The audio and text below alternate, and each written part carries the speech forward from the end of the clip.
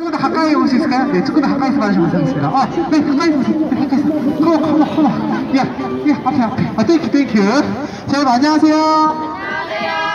아, 반갑습니다. 어, 제 이름은 양성열이라고 하고요. 지금부터 여러분들과 함께 오늘 딱 30분 정도 공연을 진행을 할 거예요. 할 거니까, 어, 이제 보실 분들은, 자, 이제 춤이잖아요. 춤이다 보니까 여러분들 조용히 보시는 것보다 같이 함께 신나게 박수와 큰 호흡, 호흡으로 해주시면 좋을 것 같은데 해줄 수 있을까요?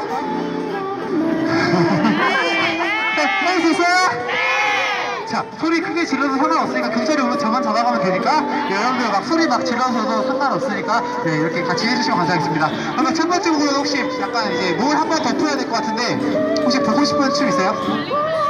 블리블리 자 그럼 블리블리 할 건데 지금 앞에 기다리고 계셨던 분들의 역할이 되게 중요해요.